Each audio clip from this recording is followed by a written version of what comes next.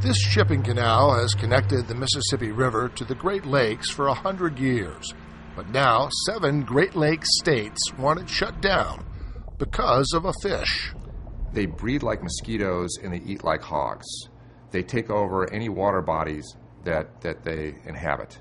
Some scientists have said that they're going to turn the Great Lakes into giant carp ponds. Like so many invasive species, the Asian carp was brought to the U.S. to do good, in this case to clean commercial catfish ponds, but ended up doing bad when a flood allowed them to escape into the Mississippi River basin. They've taken over the river. In places in the Illinois River, the Asian carp and the silver carp make up 95%, up to 95% of the fish biomass. Now, these things grow to be up to 100 pounds, over four feet long. These are huge, huge fish.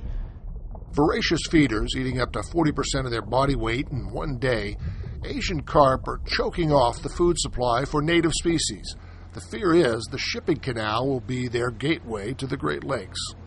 Once these monster carp get in the Great Lakes, there will be ecological and economic devastation that follows, and we have to prevent that.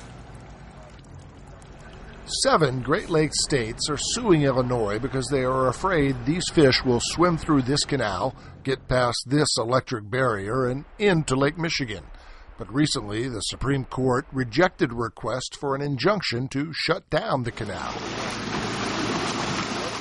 If Asian carp did get in, they would colonize tributaries and nearshore habitats in the Great Lakes.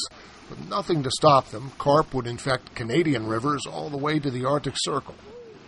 Though most in the Great Lakes area see the Asian carp as a kind of plague, for some it is a livelihood.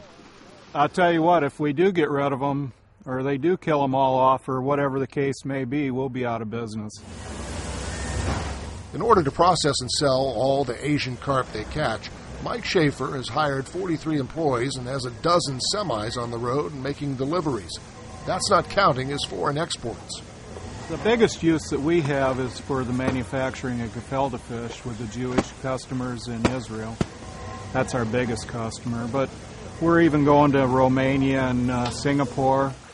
Catching carp in rivers will reduce their numbers, but there's a growing consensus about the need to disconnect the Mississippi River from the Great Lakes permanently. For Assignment Earth, this is Bruce Burkhardt.